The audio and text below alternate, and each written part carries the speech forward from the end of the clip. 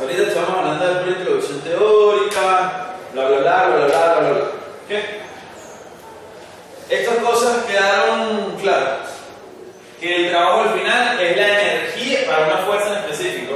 Aquí si quiere le ponemos el trabajo de una fuerza F.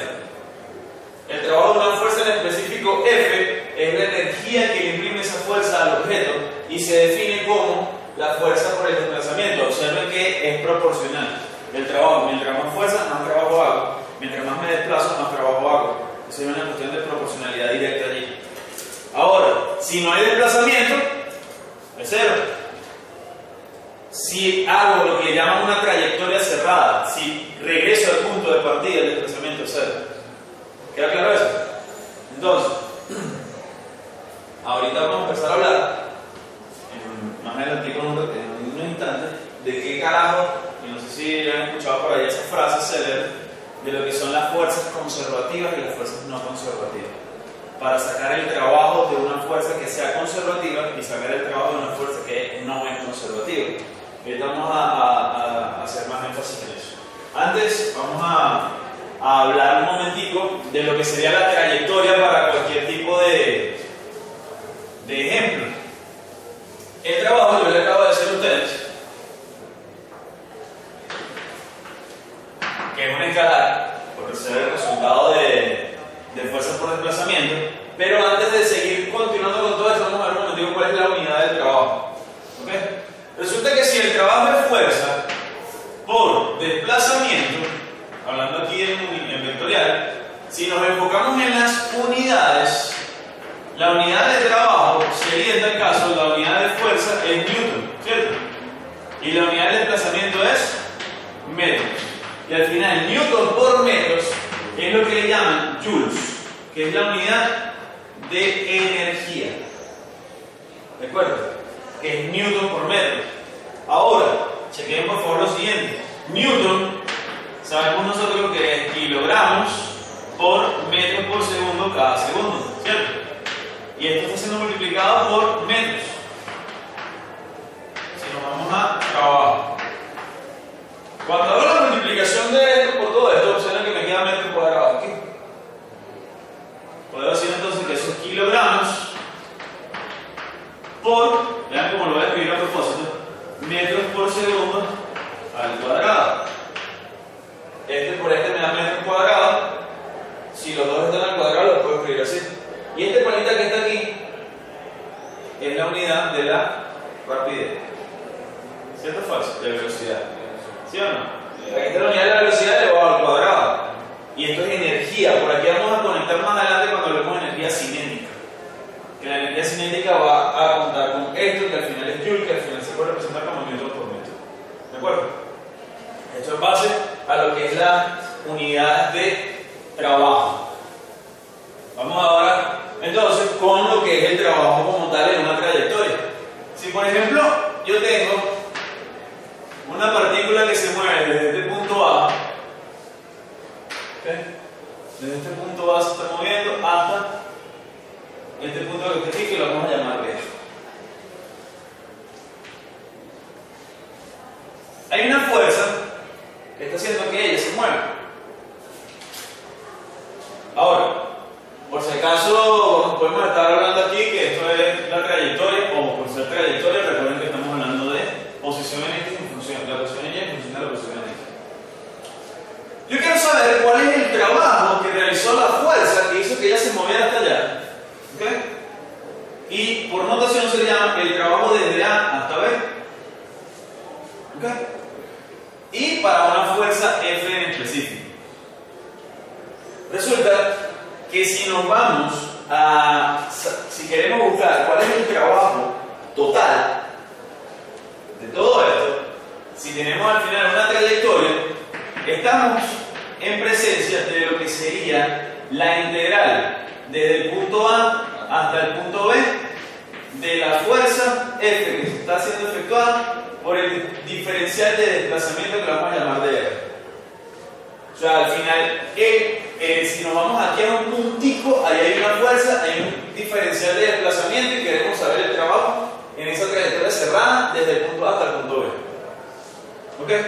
Ahora, si estamos trabajando con fuerzas constantes, porque la aceleración la estamos trabajando normalmente desde dinámica en adelante implica que la fuerza va a ser constante. Ahora resulta que les digo lo siguiente.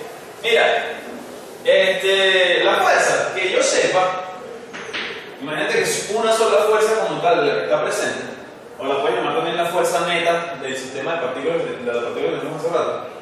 La fuerza se le llama que es la masa por la aceleración. ¿Sí? Esto por el diferencial de R, que sería el diferencial de la posición. Ahora resulta que la masa es constante. Si la masa es constante, sale. Y el trabajo sería en ese caso la masa por el, por integral desde A hasta B de la aceleración por el diferencial de la posición. Pero es que resulta que la aceleración es la derivada de qué? De la velocidad. ¿Cierto falso? Si tú agarras la velocidad y la deriva, queda la aceleración. Entonces tú agarras qué? Y dices aquí que la masa multiplicada por el integral desde A hasta B, ¿de qué? De la derivada de la velocidad en función del tiempo, que es la aceleración, ¿sí o no? Por el diferencial de la posición, tú dices, ya va hermano, pero espérate un momentito. ¿Y ahora de la factura quiero tener el producto, mira lo que tengo aquí. Yo puedo reorganizar eso diciendo que el trabajo desde A hasta B para una fuerza F sería la masa que multiplica el integral desde A hasta B de quién? Esto que está aquí no es la derivada de la posición en función del tiempo. ¿Y quién es la derivada de la posición en función del tiempo? La velocidad. Entonces tengo la, y ordenando eso un poco, tengo la velocidad por el diferencial de velocidad. En otras palabras, tú estás integrando la velocidad en función de la velocidad.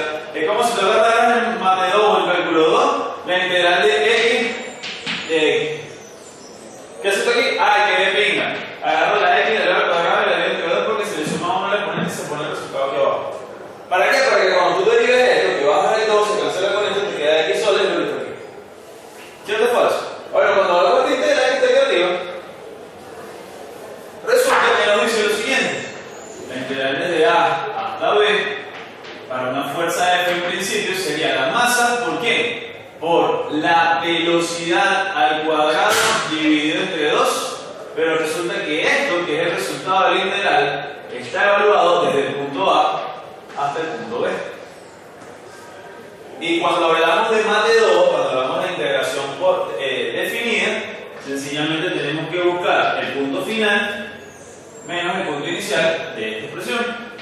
Sería entonces la masa que multiplica aquí a la velocidad en el punto B elevado al cuadrado menos, que sería este menos este, la velocidad del punto A elevado al cuadrado y todo esto dividido entre 2. Y ahí es donde yo voy a agarrar y voy a reescribir esta expresión que está aquí, que ya terminamos por lo del integral y todo eso.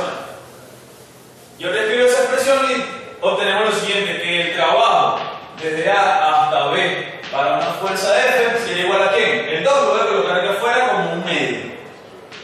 Un medio. ¿De quién? De la masa que multiplica quién? A la velocidad en B al cuadrado menos la velocidad A del punto A al cuadrado. Y mejor aún, y así terminamos este parte, que el trabajo por una fuerza F sería un medio de la masa multiplicando distributivamente la velocidad en B al cuadrado menos un medio de la masa de la velocidad en A al cuadrado. Y aquí tenemos una belleza que nos relaciona el trabajo aplicado por una fuerza F en función de, ojo, para por esto, masa y velocidad al cuadrado. Masa velocidad al cuadrado. Eso está en joules. ¿Sí? Ahora, si está en este punto B al final, esto, ojo, está moviéndose hacia allá. Si está en el punto B al final, moviéndose hacia allá, este sería el punto final, que es el punto inicial. Estamos hablando de que esto sería la velocidad final y esto sería la velocidad inicial. Entonces aquí estamos hablando como de un diferencial. Observen que esto por ser constante, estamos buscando una componente al final menos una componente al principio. Y a esta pana que está aquí, a esta expresión, que de hecho es en joules, se le llama la energía cinética. Porque la energía cinética depende de la masa y depende de la velocidad del cuadrado de la velocidad en este caso. Y la energía cinética para nosotros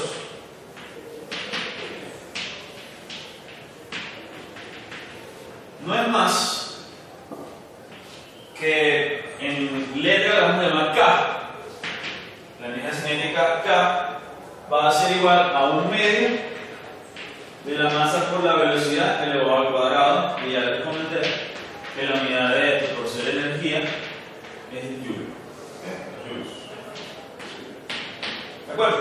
Ahora, basado en eso, si esto es energía cinética, a esta fórmula que está aquí arriba, que obtuvimos ahorita, yo podría entonces de esta manera. Esto por ser la parte final, miren esto, energía cinética al final, menos energía cinética al principio. Vamos a poner así y, mejor para no poner lado, la final menos la inicial.